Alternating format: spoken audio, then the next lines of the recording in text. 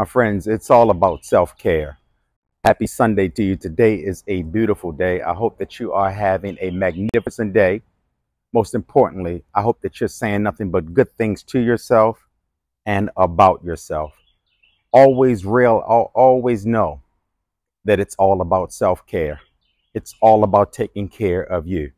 Sometimes we have to put aside everything that's around what's in us. It's better to care about your wellness before you find yourself taking an absorbent amount of time focusing on an illness. Begin to love on yourself. Begin to take care of yourself.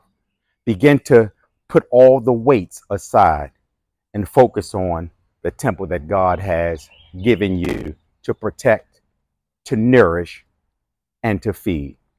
Today is a great day. Go love on yourself a little bit. Go feed your mind. Go feed your spirit. Go feed your emotions. Most, more, most importantly, go feed your body. You matter. You are a big deal. So function as if you know you're a big deal because you are a big deal. Smile, shine, give God the glory. Have an incredible day.